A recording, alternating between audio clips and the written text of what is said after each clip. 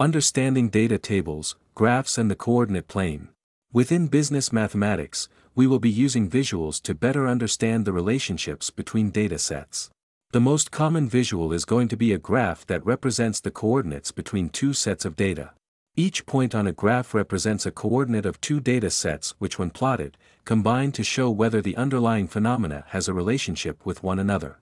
Data set 1 is plotted relative to the horizontal or x-axis and data set 2 is plotted relative to the vertical or y-axis. This visual representation of data helps us to better understand the trend in the data. Are values moving upward or downward with time?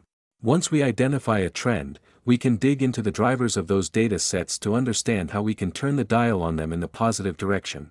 Additionally, by plotting a best fitting line between the data set we can get an idea whether there is a correlation between the two sets of data.